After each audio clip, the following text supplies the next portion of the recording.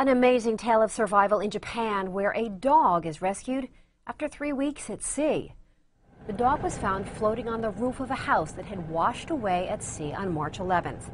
Japanese Coast Guards were hoping the dog would lead them to its owner.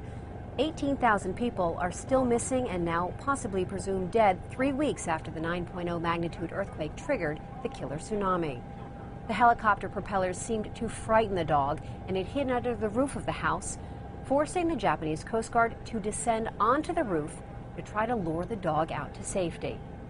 After several attempts, the Coast Guard also tried to open a hole in the roof to pull the dog out. This video shows the Coast Guard attempting to rescue the dog, but the helicopter ran out of fuel. A nearby Coast Guard boat that took over the rescue operations was able to coax the dog to safety several hours later.